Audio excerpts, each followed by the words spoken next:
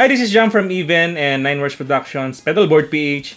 Uh, medyo tones uh, tutorial tayo about the Boss Katana on how to get that parang slapshot head trip sound na nakuha ni NSYNC tsaka ni Kuya Eboy sa head trip na album nila. Gumamit sila ng bass amp doon. So, tatry kong i-replicate yun sa Boss Katana. Yung parang mid-scoop talaga siya. So, gumamit ako ng uh, metal zone sa yung boost distortion. May metal zone built-in yan. So, ito yung tunog nun. As is. Okay na yon para sa akin. Pero gusto ko pang i-mid-scoop pa siya. So, clean tone yon And then, metal zone na parang naka-half lang lahat. And then, mag-mid-scoop lang ako.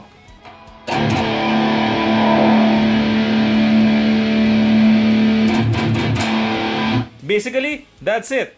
Let's do it!